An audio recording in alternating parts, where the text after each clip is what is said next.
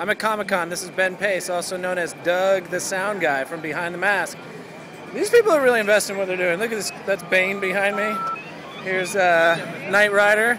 Anyway, I want you guys to invest. Invest in Before the Mask, The Return of Leslie Vernon. Buy a DVD, a poster. You can have a dream date with me, Ben Pace.